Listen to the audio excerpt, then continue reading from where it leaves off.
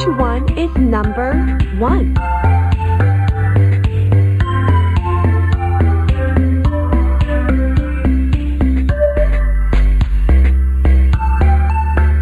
One.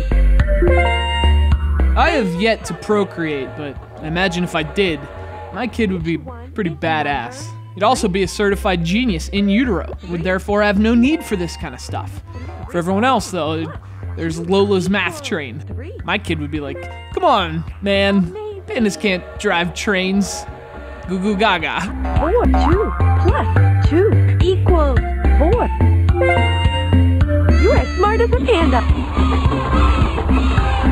Just released to the 3DS eShop, Lola's Math Train is a very simple educational game for little kids. Like, very little. We're talking humans ages 3 to 7. Those are little humans. Game's primarily focused on math, as its name suggests. Has nothing to do with trains, which I don't know. Not not every kid's gonna be a math guy. Someone has to drive the trains. We've already established pandas can't do it. What's interesting about Lola's Math Train is that it was actually released to mobile devices first. To me, that seems like the better market for a game like this. A lot more parents are in the App Store than the eShop. I it's nice to see it on the 3DS, but don't expect some 3DS specific design here. You're so clever.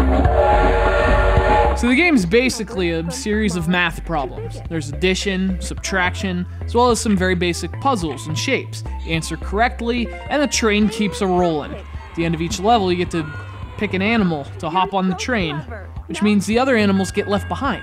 Personally, I would have liked some you know, some consequences, you know, like, oh, pick which species avoids extinction. You know, give give these kids something to think about.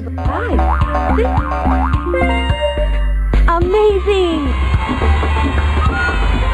There are three difficulties here, but I gotta tell you, I didn't seem to notice difference between them. The game also claims to adjust to your performance, so if a kid's having a hard time, the difficulty will adjust automatically.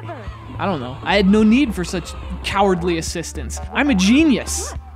Anyway, it's a nice game. It's well made. Uh, the only real issue I had was that the touch controls were a bit finicky at times. Like, dragging the numbers into place didn't always work the first time. But otherwise, I mean, it was a nice little kids game. There's not much to it, but for a couple bucks, it's a great purchase for a parent and gamer. It's Lola's Math Train for the Nintendo 3DS. Way